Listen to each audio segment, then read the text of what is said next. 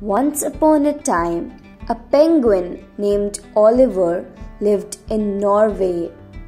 Oliver was very fond of eating candies, cookies, and jelly beans. You would always find him eating these treats. One afternoon, as Oliver was eating his favorite things, his mother said, Oliver, how many times have I asked you to stop eating all this? Won't you listen to me? Okay, Mom, I will not eat any of these things, replied Oliver as he left for his room. He then closed his room's door and ate a large box of jelly beans. Oh, how I love these jelly beans, Oliver said to himself. That night, Oliver did not feel hungry. He just had two peas, two string beans, and one olive for dinner.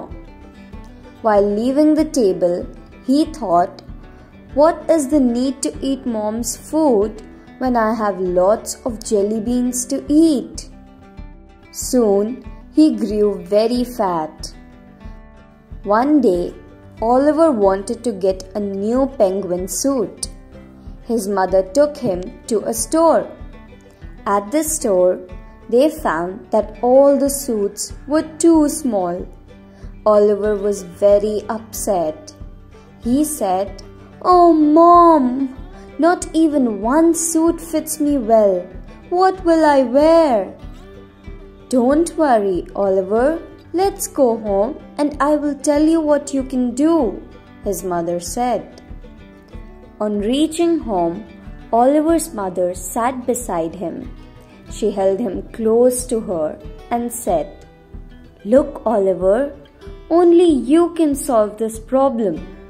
You have to do three things to solve this problem. First, you have to stop eating junk food and sweets.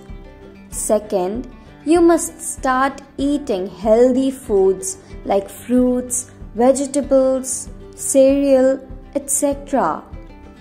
Third, you must start doing some exercises every day. Oliver understood what his mother had said. He smiled at his mother and said, Sure, Mom, I will definitely do these three things. Then he did all the three things. He stopped eating junk food ate healthy food, and exercised each day. He thus became strong and healthy. Now he can easily fit into a new penguin suit. Finally, he went to the store with his mother and bought a penguin suit.